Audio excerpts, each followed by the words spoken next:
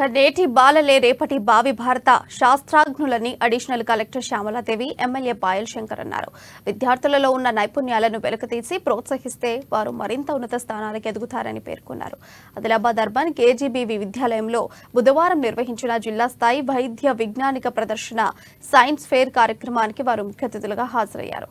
వారికి విద్యార్థులు ఘన స్వాగతం పలికారు. అనంతరం జ్యోతి ప్రజ్వలన చేసి వర్చువల్ విధానంలో వైజ్ఞానిక ప్రదర్శన కార్యక్రమాన్ని ప్రారంభించారు. ఇందులో భాగంగా విద్యార్థులు చేసిన సాంప్రదాయ నృత్యాలు కరాటే ప్రదర్శనలు ఆహుతులను విశేషంగా ఆకట్టుకున్నాయి. ఆ తర్వాత రాష్ట్ర స్థాయి పోటీలో పాల్గొన్న విద్యార్థులకు సర్టిఫికెట్స్తో పాటు బహుమతులను ప్రదానం చేసి అతిథులు అభినందించారు. అలాగే ఎమ్మెల్యేను అదనపు కలెక్టర్ను విద్యాశాఖ ఆధ్వర్యంలో షాలువాతో సత్కరించారు. విద్యార్థులు మంచిగా చదువుకుని ఉన్నత స్థాయికి ఎదగాలని అతిథులు ఆకాంక్షించారు. సమాజానికి ఉపయోగపడే రీతిలో ప్రాజెక్టులను తయారు చేసి భావి భారత శాస్త్రవేత్తలుగా ఎదగాలని సూచించారు. జిల్లా స్థాయిలో మంచి ప్రతిభ కనబర్చి రాష్ట్ర జాతీయ స్థాయిలో రాణించాలని జిల్లాకు మంచి పేరు తీసుకురావాలని పేర్కొన్నారు. టెక్నాలజీ అభివృద్ధి చెందుతున్న కొద్ది విద్యార్థులు ఆ దిశగా అప్డేట్ కావాలని అన్నారు. ఈ కార్యక్రమంలో డీఈఓ ప్రణీత ఎంఈఓ జయాశీల ఉపాధ్యాయులు సిబ్బంది బీజేపీ నాయకులున్నారు.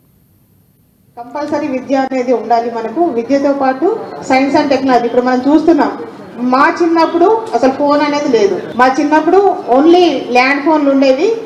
ఒక్కళ్ళు ఇంట్లో ఉంటే చుట్టుపక్కల వాళ్ళందరికీ ఫోన్లు వస్తే అక్కడికి వెళ్ళేవాళ్ళం. ఇప్పుడు మనం ఎక్కడ ఉన్నా కూడా ఎంత దూర ప్రాంతంలో ఉన్నా కూడా సో ఇప్పుడు మనం ఫోన్లు వాడుతున్నాం. ఈ రోజు టెక్నాలజీ పెరిగింది కాబట్టే మనము ఈ- ఇలాగ ఉన్నాం ఈ పరిస్థితిలో ఉన్నాం. సో అందుకనే మీరందరూ బాగా చదువుకొని మంచి సైంటిస్టులు ఇప్పుడు మనం చూస్తున్నాం. సూర్యాన్ చంద్రయాన్ మనం ఎట్లా చూసాము అంతరిక్షంలోకి.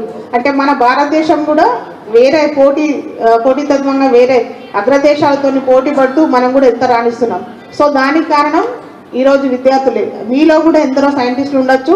సో ఆ టాలెంట్లో మీరు నిరూపించుకొని సో మీ అందరినీ ప్రోత్సహిస్తున్న ఉపాధ్యాయులు కూడా నా యొక్క